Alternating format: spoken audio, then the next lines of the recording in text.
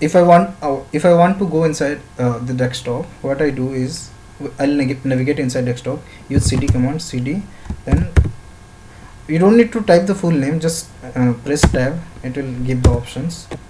Okay now we are in desktop. And if you want to na- navigate backward just type cd dot dot. Okay now we are in so let's go again to desktop so we will do some more things. Okay so these are all listing the files and navigating through the directory. And if you uh, now we don't have anything in the desktop if you want to create a directory or a folder type mkdir or make directory and the directory name. Let me type so okay right now we have a Swarup directory inside the desktop.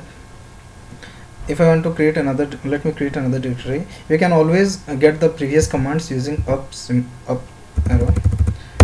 Um, so right now we have two folder uh, two directory Abhay and Swarup. Okay. So how to remove a directory? This command is simple.